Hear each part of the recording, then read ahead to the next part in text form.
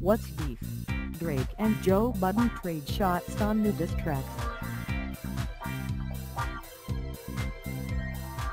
Drake and Joe Budden have been throwing shade at each other for years, but as of last night, their rap beef has finally crossed over into diss tracks.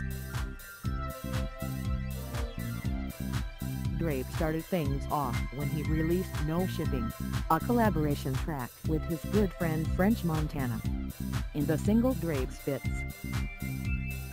I'm not a one-hit wonder, they know all my stuff slash you'll let me turn into the N asterisk asterisk asterisk K that you almost was, which many took as a jab to Joe Budden's rise and fall after his critically successful Pump It Up.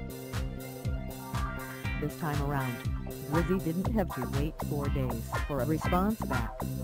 It took Budden only four hours to answer his with Afraid. This is his third diss track towards Drake in the past few weeks.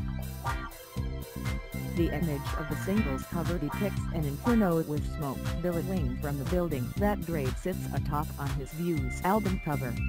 Also, the track samples Drake's The Resistance off his debut album Thank Me Later. Even calls Drake by his government name. He spits, wish we could go back and grab the Blackberry with the scroll. Oh slash yeah Aubrey that's the one we trusted slash not this new Aubrey with his stomach sculpted slash I'm disgusted.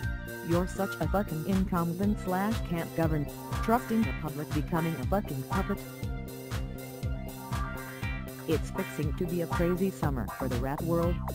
Listen to the diss tracks above and tell us who you think is winning the ramp so far.